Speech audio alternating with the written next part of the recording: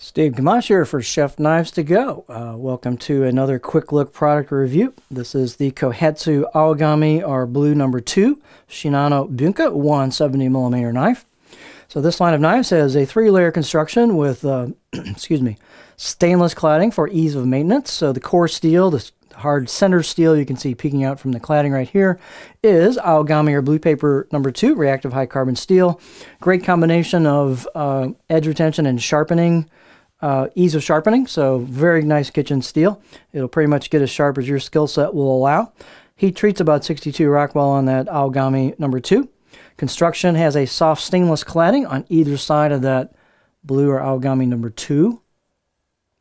For ease of maintenance, this cladding has a nice, easy to care for finish on it. We'll take a closer look at that. Weight and dimensions on these can vary just a little bit from knife to knife. This particular one is 123 grams or 4.3 ounces, so it's nice and light. The edge length is about 168 millimeters or 6.6 inches on this sample. Overall length about 308 millimeters. And the spine thickness, he's have a little thickness coming out of the handle. It's a style of blade, but then they thin out pretty nicely. So I got about 3.2 millimeters thick above the heel. It's even thicker going into the handle, but thins out nicely quickly. So this is about 1.8 millimeters halfway down on the spine, and then this has that reverse sword tip corner there. So it stays that same thickness through that until you get to the grind about right in here. And then they thin out pretty nicely towards the tip.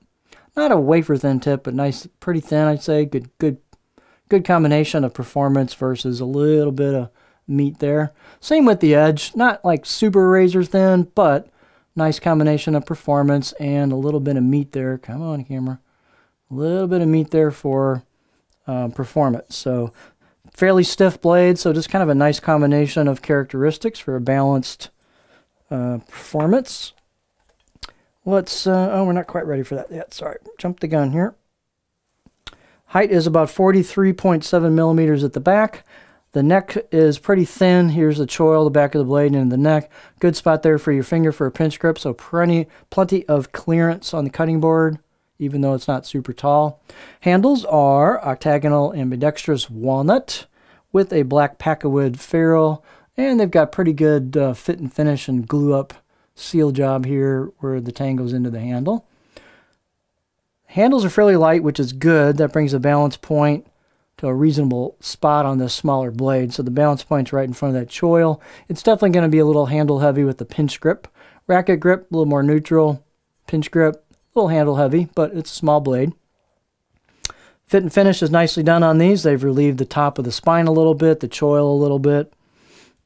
Here is our beauty shot for the video. So you can see we've got a brushed finish on this that goes with the knife blade on both sides. The nice thing about that is as you clean the knife and dry it, you tend to go this way, and so any scratches you get will go with the with the grain, if you will, on the finish, and helps hide that a little bit. You've got kind of a sandblasted gunmetal gray finish here on the grind going down towards the edge. Um, and then here's the edge steel peeking out.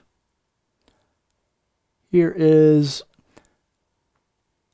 it's a little hard to tell. I mentioned it on the other video. It almost looks like it could be hand engraved, but yet it, this is awfully small. So I think it's some kind of embossed symbol in kanji, but it's got a nice look to it, very crisp. You can kind of feel it when you run your fingers over it. It could possibly be hand engraved or just kind of a really nice uh, embossed job on there, however they're doing that. And then here's the left side of the blade. There's no markings on it, but you can see that same finish.